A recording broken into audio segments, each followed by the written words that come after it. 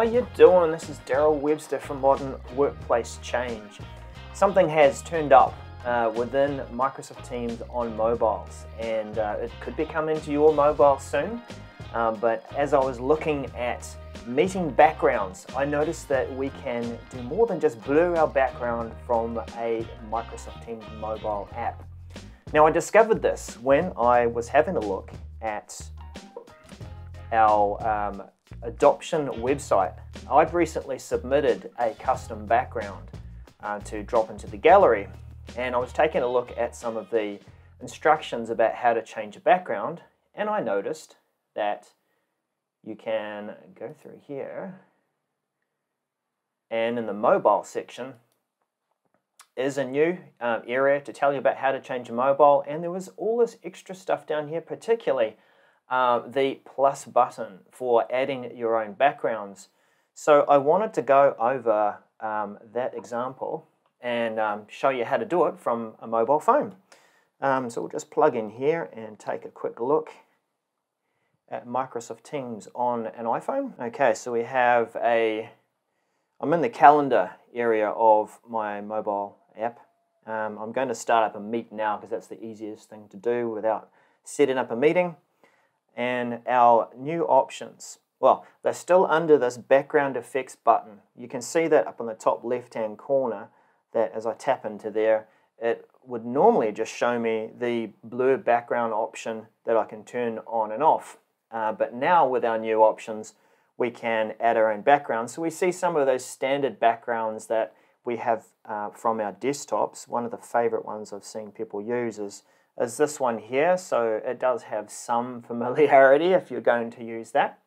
Um, but the, some of the fun that you will be able to have now is being able to add your own backgrounds underneath um, the plus button.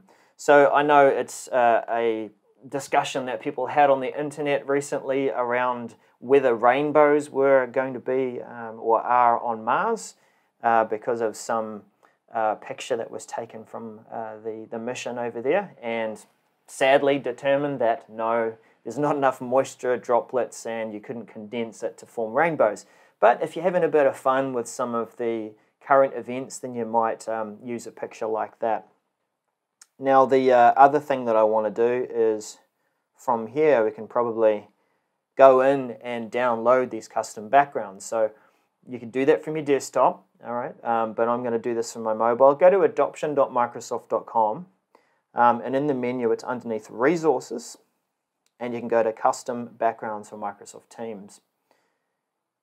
So you will find a, uh, a list of backgrounds that have been submitted um, underneath User Submitted Background. And you too can submit your backgrounds my uh, submission has recently made it to the top of the list, just been added, so you could download that background. That's me uh, managing to go um, uh, stand-up paddleboarding throughout the season. I'm going to save that image to my phone and we'll go over and see if we can add this to our backgrounds. So what does this look like?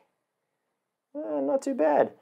Now one thing I do notice is that you can't sort of move it around and center it around the, the content that you might want to focus on within a picture. Uh, so do keep in mind that uh, if you're holding a portrait, then it's going to appear like this. It looks like it's also a reversed image, but we might see something different once we're in the meeting. So I'm going to select that, and I just want to see, as we start the meeting, Sometimes I tend to hold my phone in landscape mode as well, and there's a, a trick around doing that where rather than you know this comfortable way of holding it, um, if you are going to watch a video in, in landscape mode, or maybe you want to um, also attend a meeting from landscape, then you might hold this and turn it around. Ah, there we go. Right. So we do have and that is not sort of really turning out very well here on my let's just drop this down here and I'll show you what I mean. Here we go. So when I use landscape mode there then I'm able to show that um, from my mobile. Um, now the other thing you'll note too is that uh, if you were using your webcam on your computer then it's going to be fixed. So there's none of this motion going on as as I'm holding a mobile phone. There's definitely more opportunity for motion. If I flip that back around to portrait there, for example, it might look a little strange and unusual as as you're holding that phone and you're moving around. Um, so if you are going to attend a meeting and you're using backgrounds that are fixed rather than your natural background uh, without any backgrounds added, um, then of course your, your body is going to be moving around the top of that background. Um, now to go back in and change and turn that off, we'll go back into background effects at the bottom and I'll show you what I mean. If we turn that off, then with the background moving around, it's more natural. It, it feels uh, like you are watching someone and the, the background moves with them. Um, whereas if you're using a background like this, then it is going to look a little funny, someone floating around there. If you're attending a meeting and you're using a, a background like this from a mobile, I suggest that you get comfortable and um, if you, let's just, uh, just change up the edges there so I can show you what I mean. Bring that over there. Right, so what I mean um, is if you are sitting down, you're going to attend a meeting, um, I tend to, if I'm going to hold a phone for quite some time, I like to use my elbow against my torso. So that way it's going to give me um, more support as I'm holding that phone. And it's quite good for if I'm doing recordings as well like this. Um, but I, you know, more, more stable. And um, then I'm going to be able to hold that and look into it like this and attend the meeting. Even better if you do have a, um, a tripod, a mobile tripod, there are some, some good ones out there that allow you to use it and put it on your desk.